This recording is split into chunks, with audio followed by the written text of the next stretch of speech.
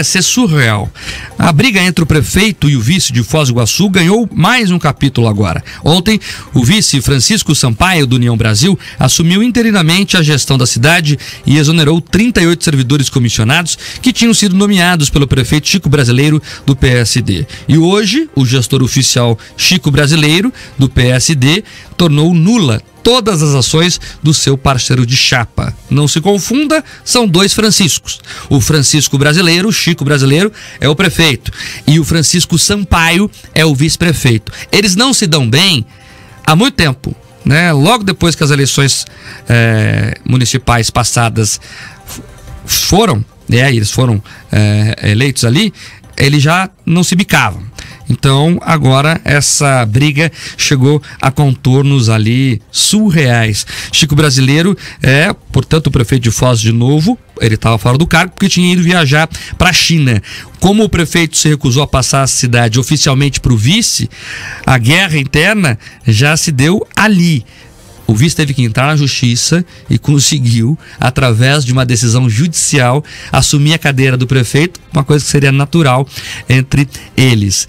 Após assumir a cidade, então, em uma edição extra do Diário Oficial do município, o prefeito em exercício, o vice, publicou a exoneração de 38 servidores comissionados, são aqueles que são contratados ali sem concurso público. Estes funcionários é, atuam em áreas como saúde, planejamento, obras, educação e transparência e governança. Como justificativa, o Sampaio ressaltou que o município está ultrapassando o limite prudencial de gastos e que isso é, pode deixar que os gastos com a folha de pagamento passem ali de 50% da arrecadação. E hoje o prefeito oficial portanto, retornou e já tornou nula todas as medidas sancionadas ontem. No Diário Oficial de hoje, o prefeito disse que não há avaliação técnica para a decisão de demitir os funcionários comissionados. O prefeito também justifica que não há planejamento financeiro para arcar com as demissões dos 38 servidores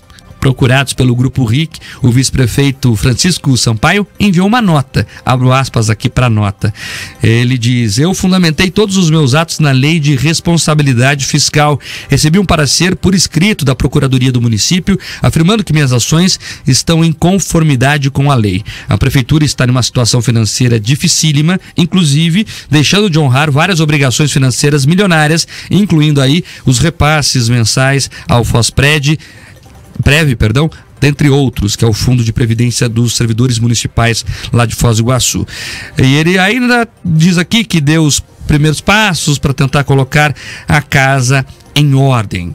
O prefeito Chico Brasileiro também enviou uma nota aqui. Né? Ele fala ali que fez uma análise é, em conjunto com a Secretaria de Administração, que mostra que as medidas adotadas pelo prefeito interino não resultariam na redução do índice da folha de pagamento e, além disso, aumentariam significativamente os gastos devido ao expressivo número de exonerações efetuadas, associado às indenizações necessárias a serem pagas aos servidores por direitos adquiridos, como férias, 13 terceiro salário e assim por diante. Então, há uma briga entre o prefeito e o vice, parece, sabe aquelas brigas da quinta série? Todo mundo tem um amigo de quinta série. Sabe aquele amigo que você brigava e aí ficava birrento e o cara queria levar a bola do jogo embora para casa? Ah, eu não quero que você faça o gol, então eu vou levar a bola para casa, para ninguém jogar. É mais ou menos isso. Só que nós estamos falando de uma cidade de 250 mil pessoas, uma das maiores do estado, um dos principais cartões postais do Brasil. E os prefeitos lá ficam brigando. Ora um tá na cadeira, ora outro, e eles ficam ali exonerando as pessoas né, como se não fossem vidas envolvidas ali. Não só as vidas daquelas pessoas, mas as vidas da população. Tem servidor da área da saúde. E aí? Você demite um gestor de posto de saúde, como é que faz? Se tiver uma emergência. Gestor da área da educação. Gestores outros tantos. Então é importante, é importante ter responsabilidade, que os gestores públicos tenham responsabilidade para que esse tipo de coisa não aconteça. É dinheiro público envolvido.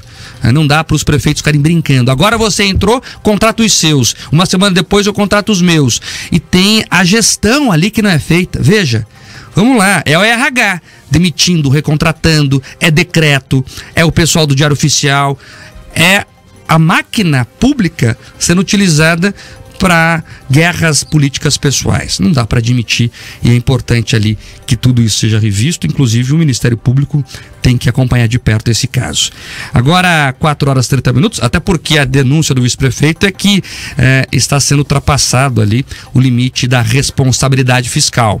Isso é muito grave. A lei diz que mais da metade do orçamento não pode ser gasta com servidores públicos. Segundo o vice-prefeito, está acontecendo. Isso tem que ser apurado de perto. Agora,